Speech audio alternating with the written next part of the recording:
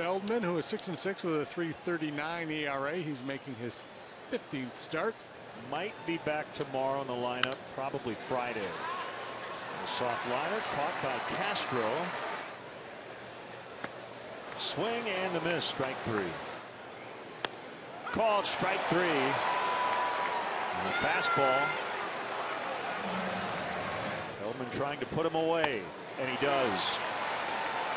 Good riser at 92 to get out of the inning. The Brewers get one. It's 3-2 Cubs at the end of three.